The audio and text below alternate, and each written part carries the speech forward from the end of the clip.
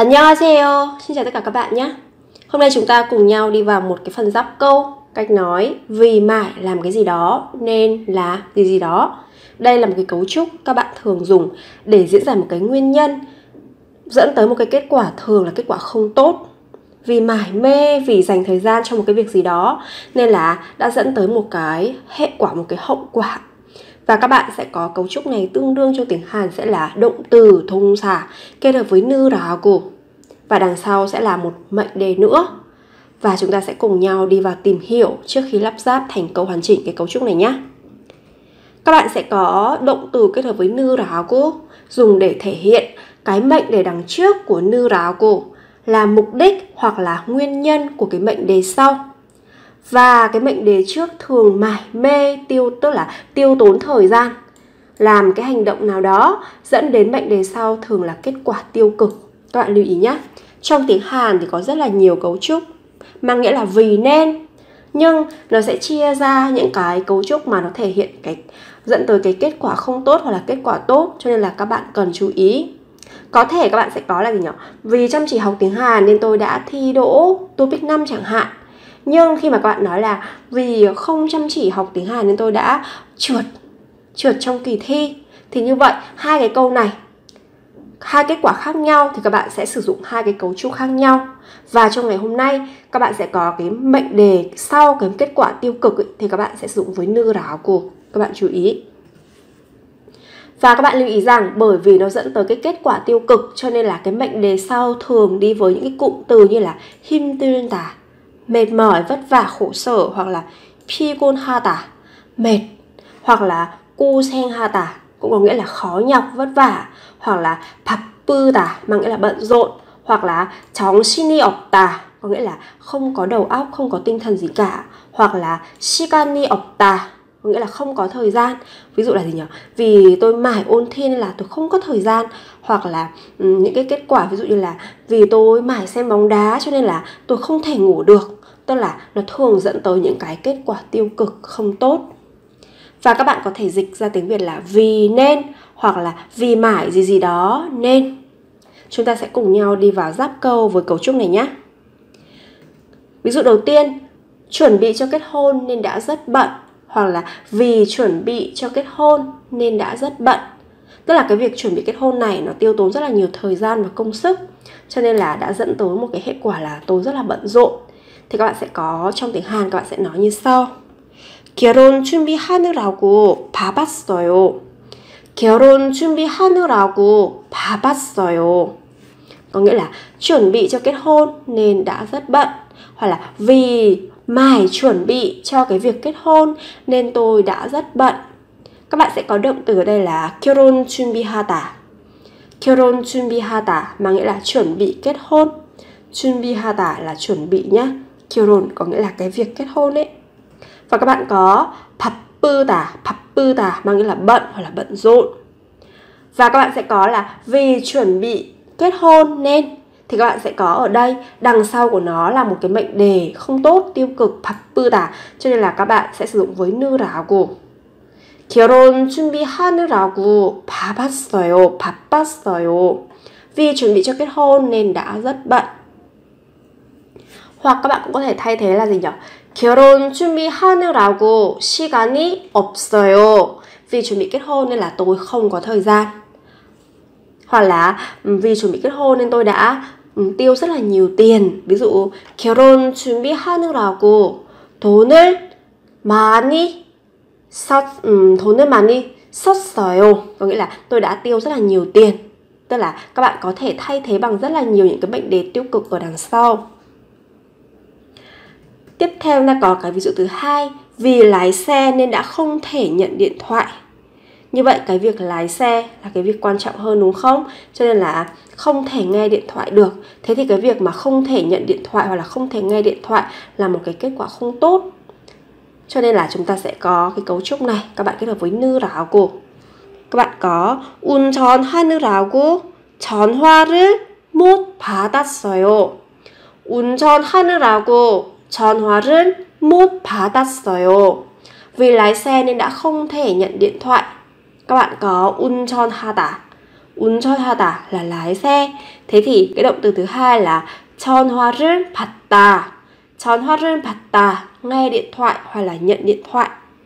Thế thì các bạn thấy rằng trong câu này mình lái xe nên tôi đã không thể nhận được điện thoại tôi xin lỗi cậu nha gì gì đó khi mà diễn giải thì các bạn sẽ có ở đây mệnh đề đằng sau là một cái kết quả không tốt nên các bạn sẽ kết hợp với nư ráo cô và các bạn ở đây động từ các bạn chỉ cần bỏ tà đi và gắn nư ráo cô vào gốc của động từ sẽ là un tròn hai nư ráo cô vì mãi lái xe nên là gì gì đó cụ thể là tròn hòa rư mút phá tát sòi nên đã không thể 못 là không thể 받았어요 không thể nhận 운전하느라고 전화를 못 받았어요 vì lái xe nên tôi đã không thể nhận điện thoại. Tiếp theo các bạn có một câu như sau. Do hoặc là vì uống rượu đến tận đêm khuya với bạn Nên tôi đã tiêu hết tiền. Như vậy, Tức là cái nguyên nhân ở đây là vì uống rượu đến tận đêm khuya, tức là uống rất là rất là lâu, rất là mất thời gian.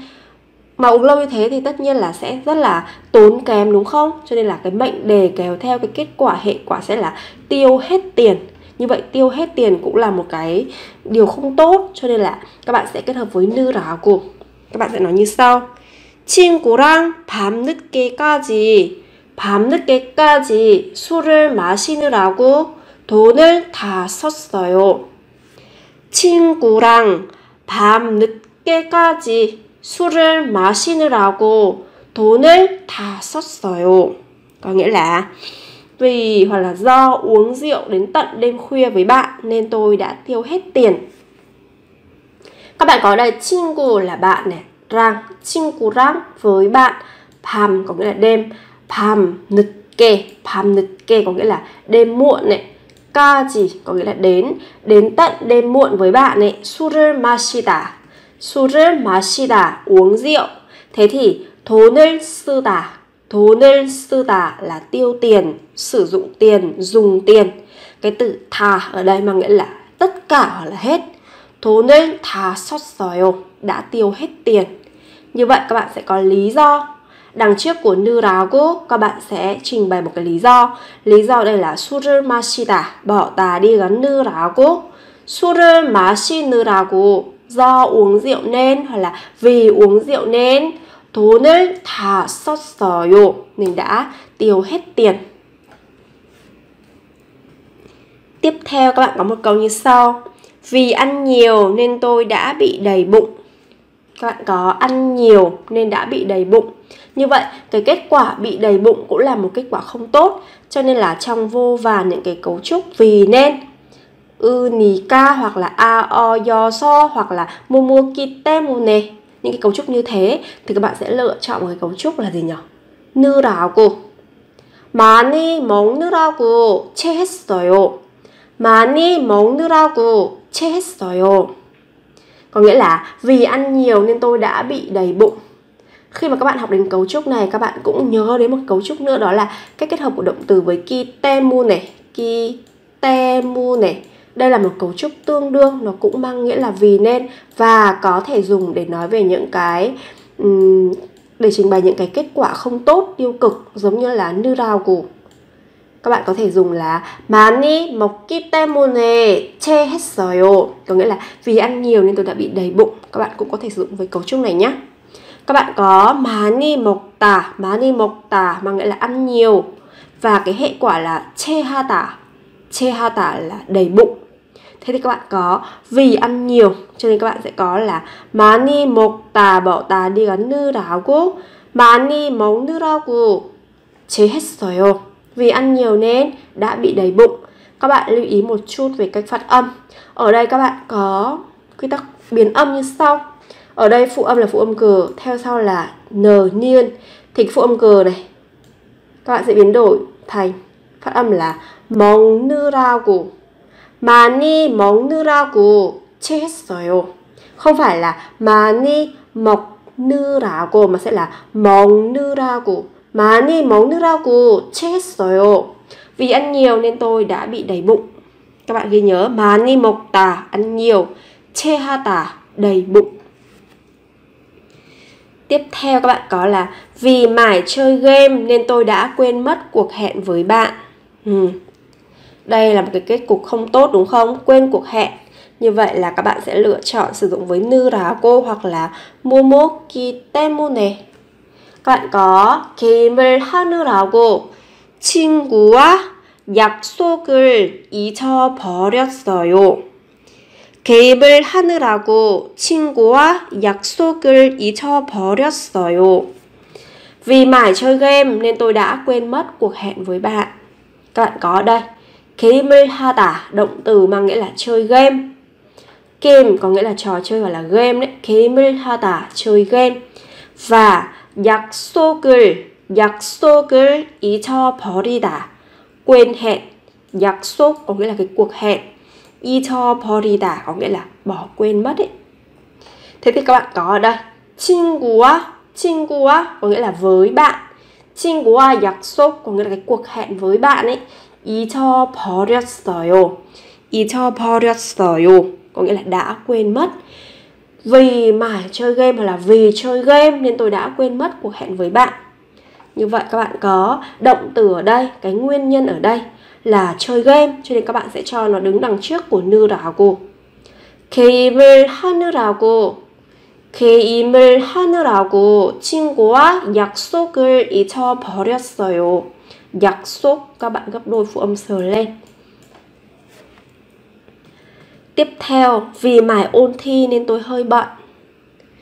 Vì mải ôn thi nên tôi hơi bận thì cái việc bận này cũng là một cái điều không tốt trong cuộc sống cho nên là chúng ta cũng kết hợp với 느라고 저는 시험 공부를 하느라고 좀 바빠요.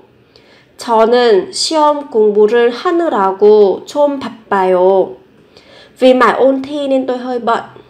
Các bạn có 시험 공부를 하다. 시험 공부를 하다 là ôn thi. 시험 공부 có nghĩa là ôn thi. Động từ của nó là 하다. Thế thì 바쁘다, 바쁘다 là bận, bận rộn. Các bạn sẽ có vì mải ôn thi hoặc là vì ôn thi thì các bạn sẽ có động từ đứng đằng trước của 느라고. 시험 공부를 하느라고 vì mải ôn thi nên 좀 바 빠요 nên là tôi hơi bận hoặc là vì mải ôn thi nên là gì nhỉ? 시간이 없어요 nên là tôi không có thời gian hoặc là các bạn có thể nói là vì mải ôn thi nên tôi tôi mệt mỏi các bạn có thể dùng với 시험 공부를 하느라고 힘들어요. 힘들어요. cũng được đúng không? Như vậy các bạn có thể linh hoạt thay thế nhiều những cái mệnh đề khác ở vế đằng sau của nư rào cô. Một câu lắp ráp nữa. Vì dọn vệ sinh trong phòng tắm mà không nghe thấy tiếng chuông điện thoại. Các bạn có thể hiểu là vì tôi dọn vệ sinh hoặc là vì tôi mải mê dọn vệ sinh trong phòng tắm nên là tôi không nghe thấy tiếng chuông điện thoại có thể là ai đó gọi đến nhưng mà um, dọn vệ sinh tập trung nên là tôi không nghe thấy gì hết các bạn có một câu như sau 욕실에 욕실에서 청소하느라고 전화 소리를 안 듣습니다.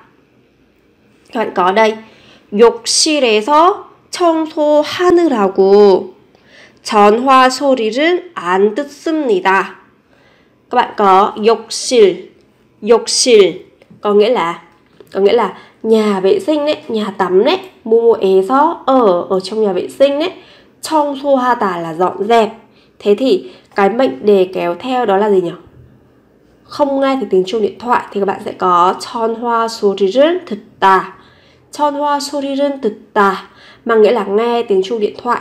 Thế thì vì mải mê dọn dẹp thì các bạn sẽ có trong 청소하다 bỏ tà đi có 느라고 vào gốc của động từ 청소하느라고 vì dọn dẹp mà hoặc là vì dọn dẹp nên gì gì đó các bạn có 욕실에서 욕실에서 청소하느라고 전화 소리를 안 듣습니다. 전화 소리를 안 듣습니다. Tôi không đã không nghe thấy tiếng chuông điện thoại. An là không.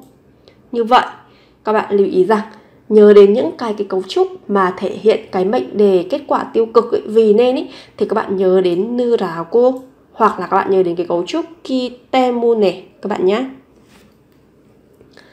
tiếp theo một câu nữa vì mải xem phim nên tôi đã đến trường muộn vì mãi xem phim nên tôi đã đến trường muộn thế thì cái việc đến trường muộn ấy cũng là một cái kết quả không tốt nên là các bạn kết hợp với nư đáo quốc trong câu này các bạn có xem phim sẽ là 영화를 보느라고 학교에 늦게 갔어요.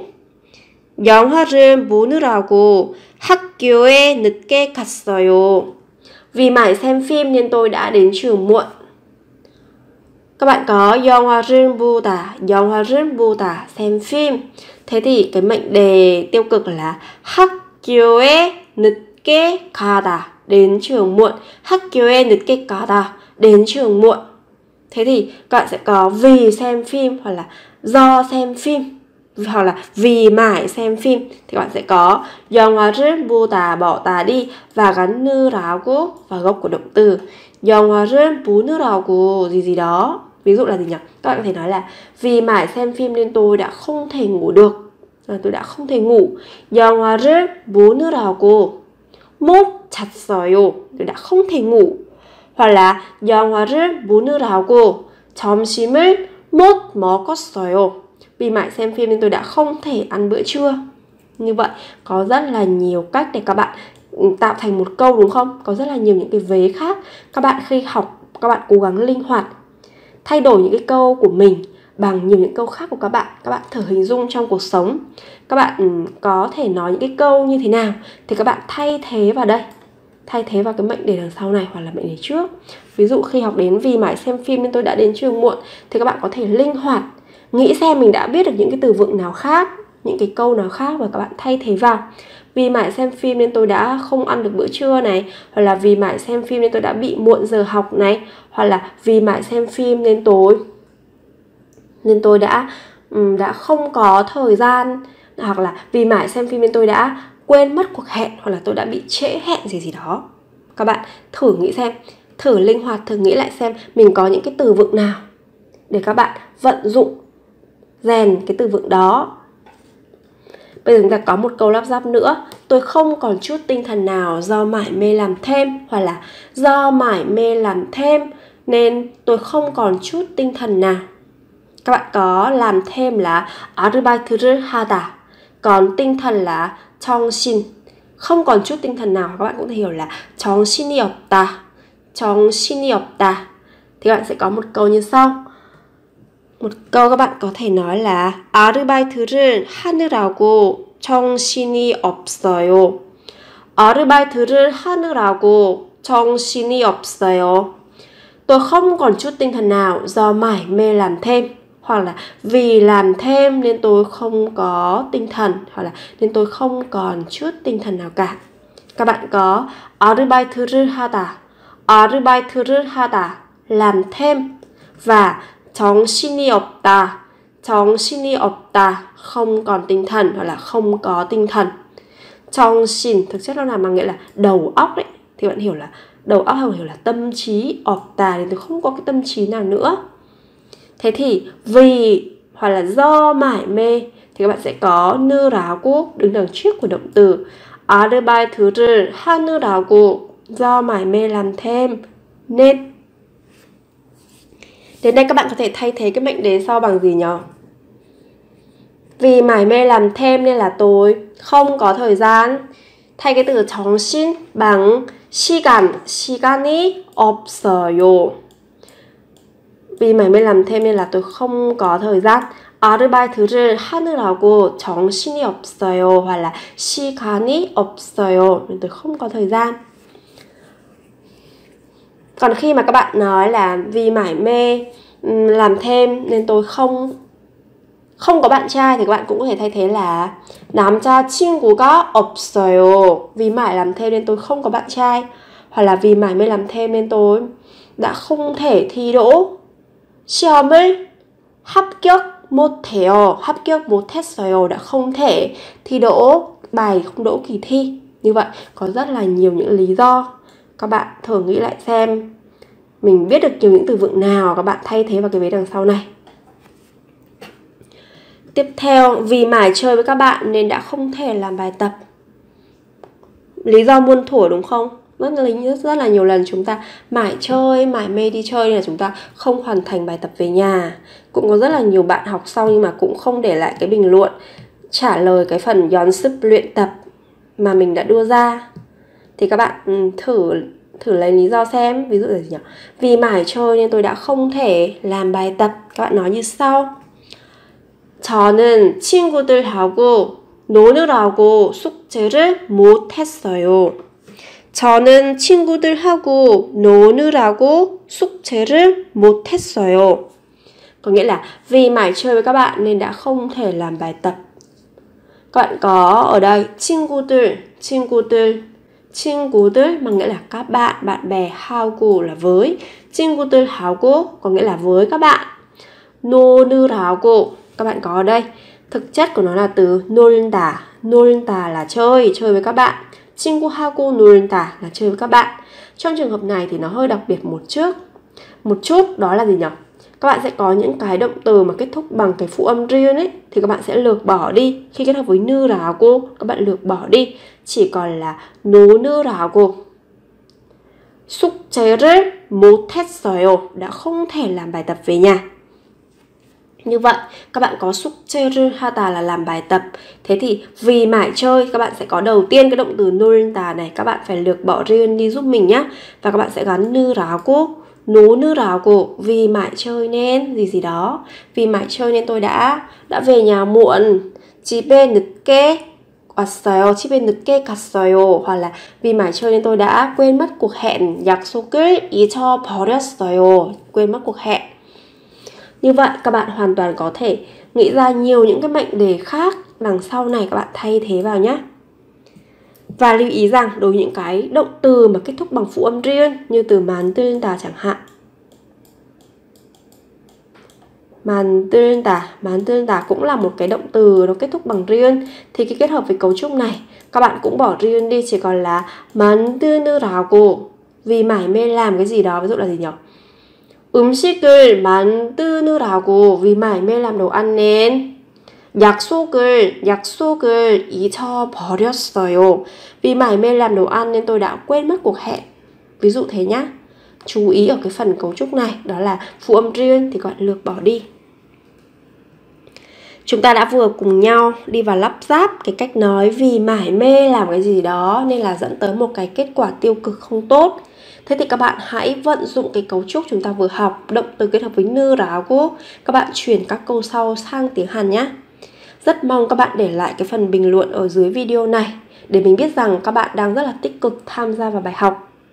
Câu đầu tiên, Vì mải đọc sách mà tôi đã không thể ngủ. Thứ hai, Hôm qua vì mải học bài nên tôi đã không thể ngủ được. Câu thứ ba, Vì mải xem đá bóng mà hôm qua tôi đã không thể làm bài tập.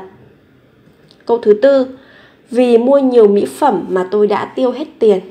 Như vậy các bạn thấy rằng đối với cấu trúc như ráo cô thì mệnh đề đằng sau thường là những cái kết quả không tốt. Không tốt, không thể ngủ, không thể ngủ được, không thể làm bài tập hoặc là tiêu hết tiền. Bài tập chỉ có 4 câu thôi và không quá khó. Các bạn hãy để lại phần bình luận nhé. Mình sẽ chữa cho các bạn. Như vậy vừa rồi mình đã chia sẻ với các bạn ngữ pháp cách giáp câu của bài ngày hôm nay, cách nói vì mải mê làm cái gì đó nên đã dẫn tới một cái kết quả tiêu cực. Hy vọng rằng những chia sẻ của mình ngày hôm nay sẽ giúp các bạn có thêm vốn từ, vốn ngữ pháp, vốn câu để các bạn có thể uh, giao tiếp tiếng Hàn một cách tự tin hơn, trôi chảy hơn. Hẹn gặp lại các bạn ở những bài học sau nhé. 여러분 다음 강에서 만나요.